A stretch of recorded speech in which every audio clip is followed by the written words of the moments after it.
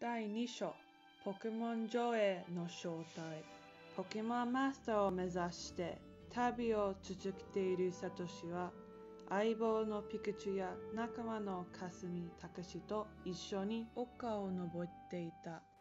先頭を歩いていたピクチュが何かを見つけて駆け出すとサトシたちも走り出した。すると丘の向こうに海が広がっていた。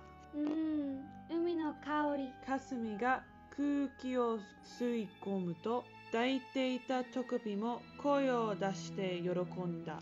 その隣でたけしが背負っていたリュックサックを下ろした